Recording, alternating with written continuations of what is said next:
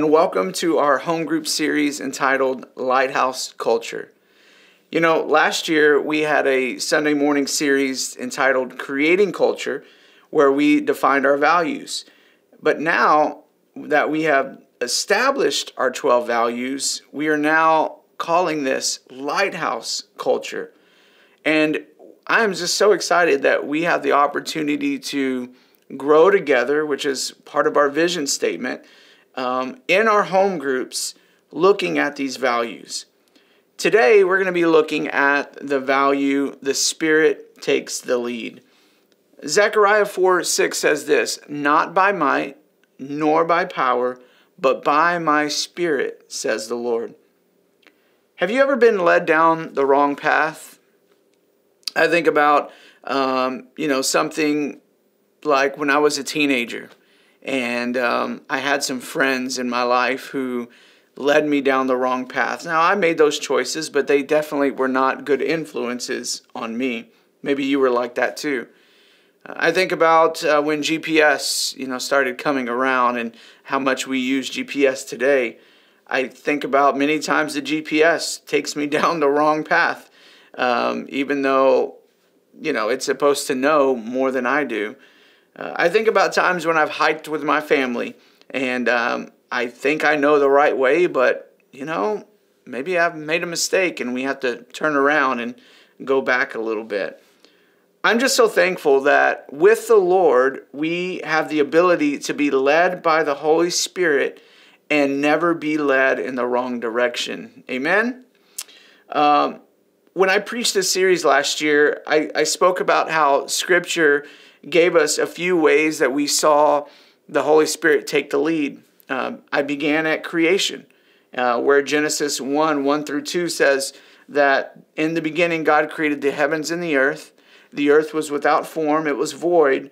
But then it says, and the Spirit of God was hovering over the face of those waters. The Spirit took the lead in creation. I spoke about how the Spirit took the lead uh, concerning the Word of God. In the beginning was the Word, and the Word was with God. Um, and we know that the Word was, is Jesus. Jesus then says in John chapter 14, verse 26, that when he would leave the earth, he would send the helper, the Holy Spirit, it says. And it says that the Holy Spirit will teach us all things, bringing back to remembrance all that he said. So the Holy Spirit took the lead in creation. The Holy Spirit took the lead in the Word of God. The Holy Spirit took the lead in Jesus and his ministry. Acts chapter 10, verse 38 says that God anointed Jesus with the Holy Spirit and with power, and that Jesus went around doing good, healing all those who were oppressed by the devil, and that God was with him.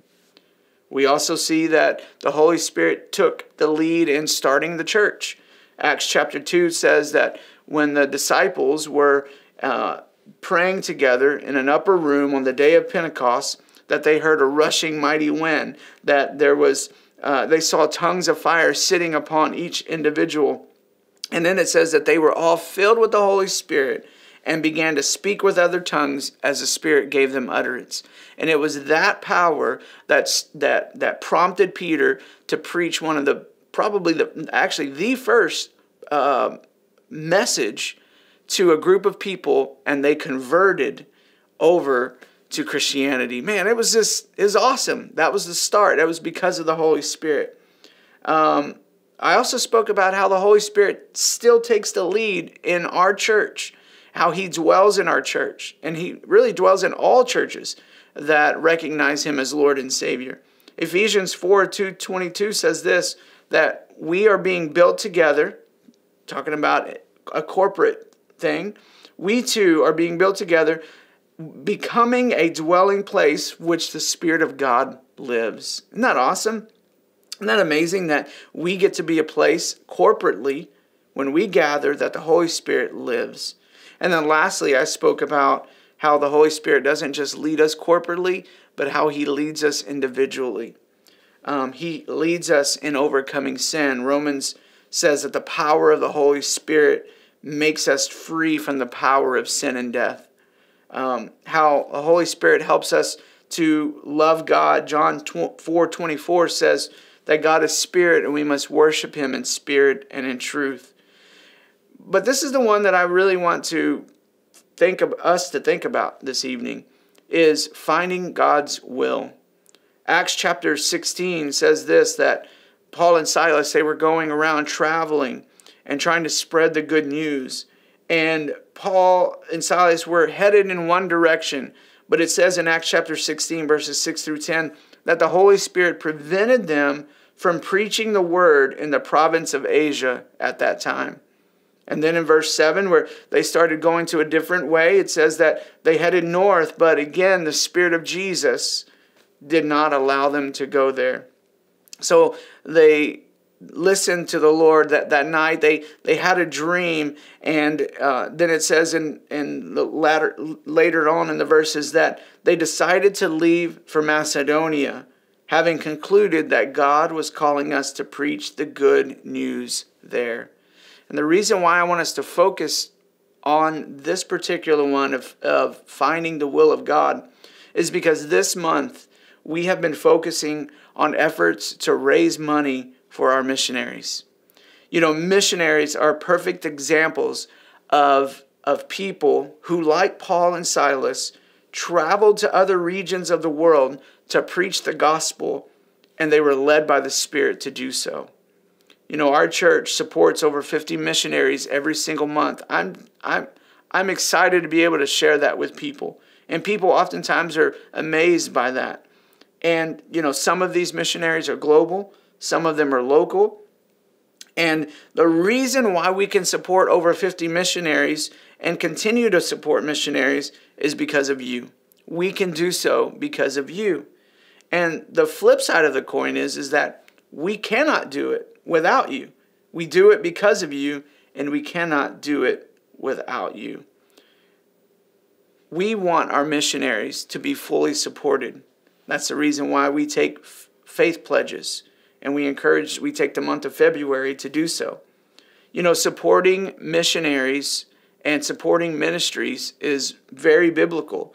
I was looking at Luke chapter uh, 8 where it says that there was three women, Mary, Susanna, and Joanna that when Jesus was doing his ministry on this earth, it says that they these women helped support Jesus out of their own means. Isn't that incredible? That these women, like even Jesus, needed support. And so, if Jesus needed support for his ministry, how much more do our missionaries need support for their ministry? And we get to rely upon the Holy Spirit to tell us of how much we get to support them and how we should support them, how often we should support them. I was also looking at Paul's ministry. Paul's ministry was supported by a church. If you look at Philippians, this is a little bit longer verse that I'm going to read, so stick with me. Uh, Philippians chapter 4 says this Paul is writing to the church in Philippi, and he says this As you know, you Philippians were the only ones who gave me financial help when I first brought you the good news, and then traveled on from Macedonia. No other church did this. Even when I was in Thessalonica, you sent help more than once. I don't say this because I want a gift from you. Rather, I want you to receive a reward for your kindness. At that moment, I have all I at the moment I have all I need and more.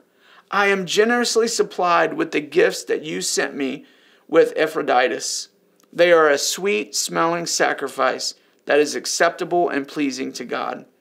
And this same God who takes care of me will supply all your needs from his glorious riches, which have been given to us in Christ Jesus. As I was reading this, I, I just thought these phrases. Let it be said that if no other church gives to missionaries, that the lighthouse will be the one to give. Amen? Let it be said that that we gave more than once, just like the uh, the church in Philippi gave more than once. That we gave more than once. That means a monthly commitment. One-time gifts are awesome, but I want to encourage you to give more than once. Let it be said that our missionaries, like Paul could say, have been generously supplied with gifts that we sent them. let it be said that we will receive a reward for our kindness and that God will supply all of our needs according to his riches and glory. I'm asking you this month to prayerfully consider to be led by the Spirit in making a monthly faith promise to give to missions. Some of you, this might be for the first time. Others of you, you do this every year. And I'm going to ask you that you would continue to do so. It would be a blessing to our missionaries, and it's a blessing to our church. Let the Spirit take the lead in how you give. We are now going to go into some discussion time. Um, your group leader will ask you certain things regarding um, how the Spirit has made you, how the Spirit has helped you in, in ways to make decisions times when you didn't maybe listen to the Holy Spirit. Um, maybe we can discuss also some times when the Spirit actually led you to actually give financially, and we can encourage one another. God bless you. Thank you so much for your willingness to gather together and grow together and to give to our missionaries.